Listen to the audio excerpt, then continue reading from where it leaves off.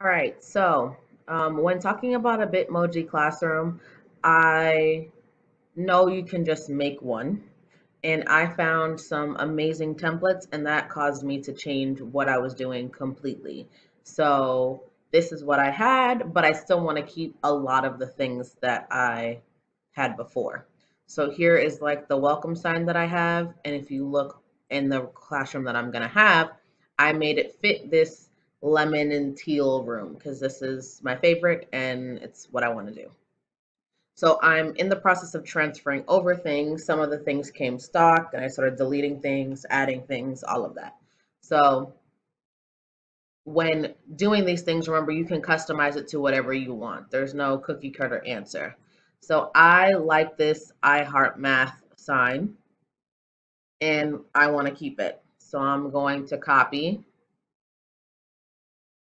and then I'm just going to paste it over. So now you'll see this is the sign. Now, I love the sign. It is beautiful, but it doesn't fit into the yellow and teal theme that I told you that I wanted.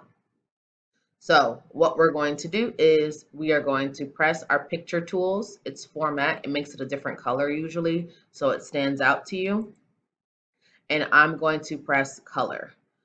Color allows you to change the color of it. So as you see, the eye is black, the heart is red, and the word math is blue. So in this situation, it changes the saturation. This is the tone, and then here it actually recolors it.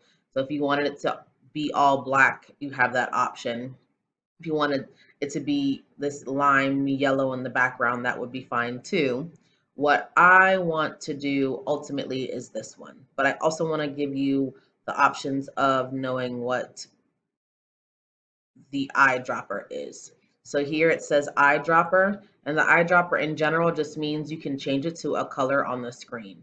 So it is giving you the option to figure out what color you want it to be. So if I want it to match with this kind of yellow versus this yellow, you can see that it's different. So if I wanted to make it this yellow, it would then change the entire picture to be that yellow. So you have the option to not just use the colors that they give you here, you can get more variations and get a color that's on the screen. As you see, I was playing around with it. So these are all the different blues and yellows that are on the screen right now. But as I said, ultimately what I want to go to is here and do this dark teal. I'm going to crop it, and that's just to make it a little skinnier. I don't love the frame. If you like the frame, you could keep the frame. But you just take this, when you see this perpendicular line right here, I move it. I know it's movable. If I do that, then that's what I, the area that I'm cropping. So now all you see is that. It's not what we want. We want to make sure that we're moving only that. So I have this, and ultimately, I don't love that it's like this. I kind of want them to go together. So I'm going to press Shift, and I want to select all of them. I say these, you know, corners and dots remind me, make sure that I have all three and not something else. Because sometimes that happens. You know, you'll have the chair, um, the, the, the cushion with it as well, and that's not what you want.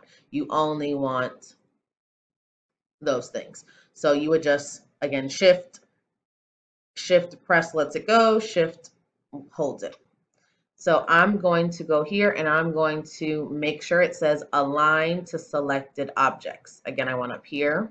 This is align and I put align to selected objects. If I align it to the slide, then it's going to go the length of the slide, but I just want them to be aligned together.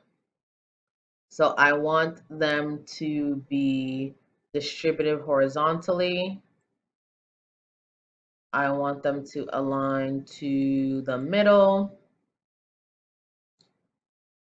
And now they are, again, distributed the evenly spaced from them. I don't love that this one's small, so I'm going to go back and change and make this one a little bigger.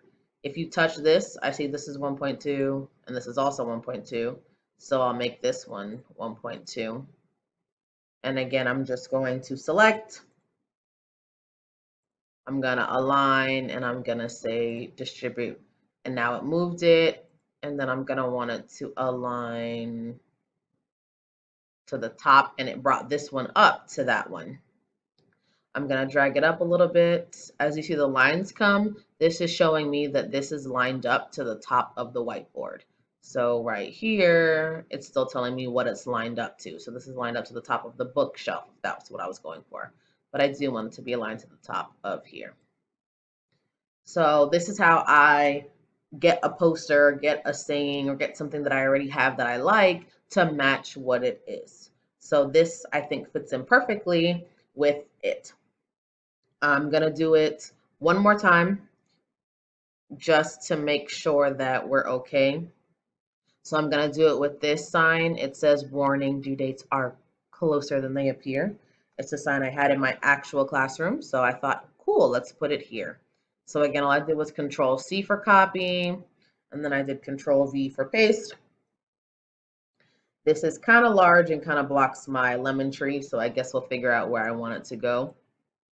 But we are going to, again, format it. If I make it a smidgen smaller, and then I'm to send it backwards.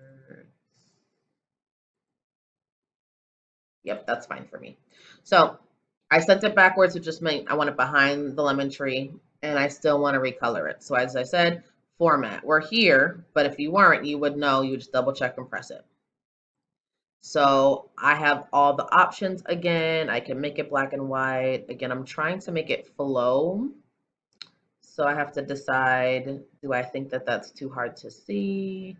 Do I want it to have some black in with it, some black in the blue? Again, all the options, but I think I'm gonna do this one. So simple, easy peasy way to make sure or to ensure that you are matching whatever theme you choose. Or if you want something but you don't love the color that it's in, you have the option to recolor it.